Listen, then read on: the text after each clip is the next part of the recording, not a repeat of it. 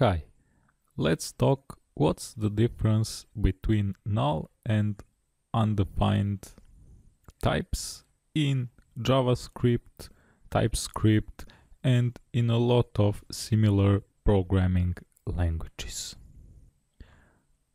Quietly often you can be confused when you want to use undefined or null type.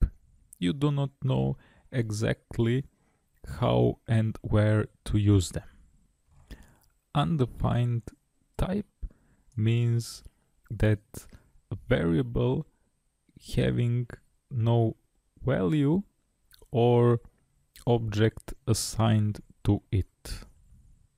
On the other way, null means that an object has been assigned to the variable but that object is null. So undefined is a value while null is an object.